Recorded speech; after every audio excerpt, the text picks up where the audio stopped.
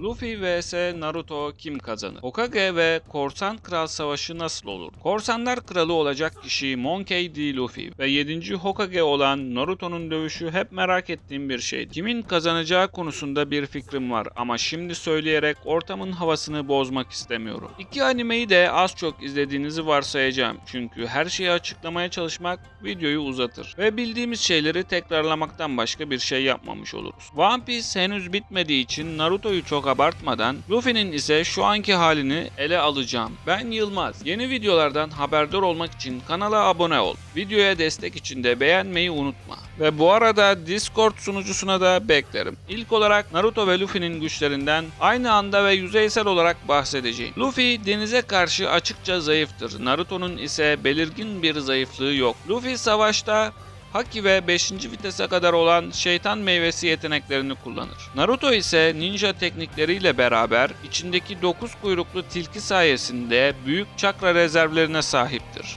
Luffy yıkıcı güç seviyesi olarak adasaldır. Saldırıları adaya etki edebilir. Naruto'nun yıkıcı gücü ise kıtasaldır. Kıtalara etki edebilir. Hatta gezegensel de diyebiliriz fakat çok abartmayalım. Luffy zannımca süpersonik hıza ulaşabilir. Naruto ise ışık hızında hareket edebilir. Luffy yumruk ve darbelere karşı bağışıktır. Naruto ise hasar alabilir. Naruto ayrıca çoğu yaralanmayı oldukça hızlı iyileştirebildiği için Luffy'ye karşı üstünlük sağlayan rejeneratif güçlere sahiptir. Tabi Luffy de çok hızlı iyileşebilir fakat Naruto'nun hızına yetişebileceğini zannetmiyorum. Luffy'nin sezgisi Sasuke gibi öngörü yetenekleri mükemmel olan bir ninjadan geleceği görmesi sebebiyle daha iyidir. Aynı şekilde Naruto'nun da sezgisel yetenekleri mükemmeldir. Çakra modu ve türevlerinde algısı ve sezgisi kilometrelerce uzaklıktan bile çalışabilir. Luffy deve dönüşebilir ve uzuvlarını istediği gibi uzatabilir. Naruto da 9 kuyruklu tilkinin boyutlarına erişebilir, çakrasını istediği şekilde uzuvları gibi kullanabilir. Luffy silahlanma hakisiyle bedeninde zırh oluşturabilir, dokunmadan içten hasara yol açabilir. Fakat uzak mesafe saldırısı olarak algılamayın.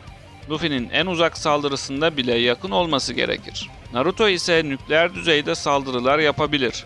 Havada süzülen ve tüm çakra doğalarına erişim sağlayan siyah topları vardır. Luffy'nin 5 vites değişikliğine karşı Naruto'nun Sage modu, Çakra modu, Çakra ve Sage mod birleşimi ve 6 yol Sage modu ve daha fazla olacak şekilde çeşitli modları vardır.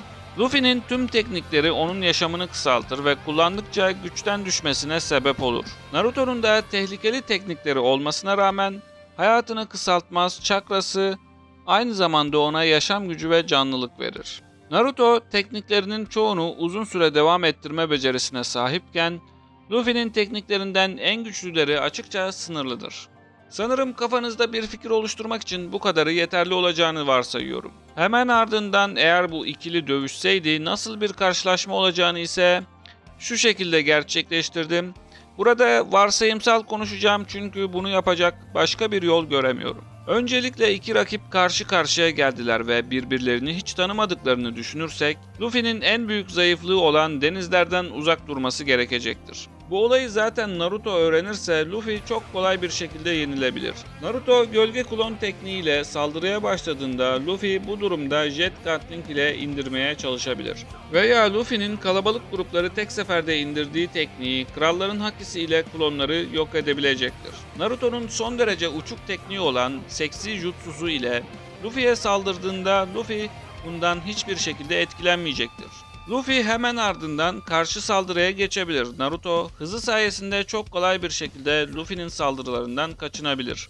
Luffy'nin kung fu becerileri olmadığı için yumruk yemesi kaçınılmaz olurdu. Fakat Naruto'nun yumrukları Luffy'yi lastik vücudundan ötürü hiçbir şekilde etkilemez. Naruto bunu anladığı anda saldırı şeklini değiştirmesi gerekecektir. Luffy tam bu sırada vuruş saldırıları için ikinci vites ya da Snakeman moduna geçebilir. Fakat karşısındaki bir ninja olduğu için ve en hızlı ninja olduğu için Luffy yine verimli bir sonuç alamaz. Bu durumda Ryo Haki ile temasını minimumda tutarak Naruto'ya içten hasar vermeye çalışır.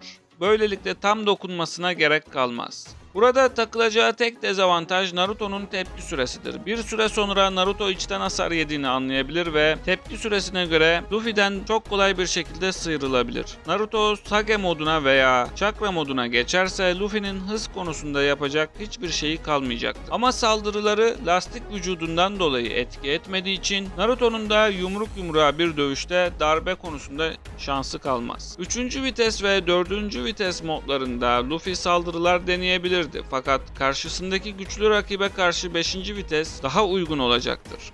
Eğer ki Naruto bu durumda Rasengan türevlerinden uzak bir saldırı yapsa, Luffy bundan gelecek görüşüyle kaçabilir. Kaçmasa bile Naruto'nun yapacağı nükleer düzeyde saldırıları Gear 5 modunda zemini esneterek geri saldırı yapabilir. Luffy'nin Gear 5'nin yıldırım yakalamasına bile izin veren bir gücü var. Neden Naruto'nun fırlattığı saldırıları tutamasın ki? Çünkü Hitoito no Mi Nika meyvesinin sınırı hayal gücünün sınırına dayanıyor. Böylelikle Luffy, Naruto'nun saldırılarından ya da kendisinden savaş konusunda daha güçlü bir şey hayal edebilir. Luffy'nin şu anlık hız konusunda büyük bir kaybı var. Naruto'ya hız konusunda ayak uydurması çok zor olacaktır. One Piece gezegeninde en hızlı kişi ışık hızında olan Kizaru'dur. Luffy ışıktan hızlı değildir. Ama gerçi Raining Kizaru'yu tutabilmiştir. Sanırım One Piece'in güç seviyeleri farklı çalışıyor. Neyse, işin sonunda Luffy Naruto ile Gear 5 seviyesinde bir süre devam ederdi. Ama Gear 5 de bir yerde duracaktı. Fakat Naruto'nun hala saymadığım bir sürü tekniği kalıyor. Bu durumda bence Gear 5 ve yeni alacağı power up'larla Luffy Naruto'yu zorlar. Alışılmadık bir dövüş tarzı ve hayal gücünün bir sınırının olmaması Bununla kim baş edebilir ki? Eğer süre sınırı kısıtlı olmasa ve bu dezavantajı ortadan kalksa Luffy kaybetmeyebilirdi. İşin açıkçası arkadaşlar Naruto'nun bu dövüşü kolaylıkla alacağını düşünüyorum. Ama One Piece henüz bitmedi ve ben daha güçlü teknikleri Luffy'den bekliyorum. Fakat şöyle de bir gerçek var ki Naruto ve One Piece evreni çok farklı dünyalar ve güç seviyeleri de çok farklı. O yüzden bu sonuca fazla takılmayın. Bu benim düşüncem. Ve dahası şöyle bir şey de olabilirdi. Luffy Naruto'nun kendisini kopyaladığını ve su üzerinde yürüdüğünü gördüğü an her şey bitmiş olacak. Çünkü Naruto'yu bir sonraki mürettebat üyesi olarak almak isteyecekti. Luffy'nin ninjaları çok sevdiğini bildiğimize göre bu senaryoya da böyle bir son yazıyorum. Ben Yılmaz. Kanalıma abone ol ve Discord sunucusunda bize katıl. Hoşça kalın.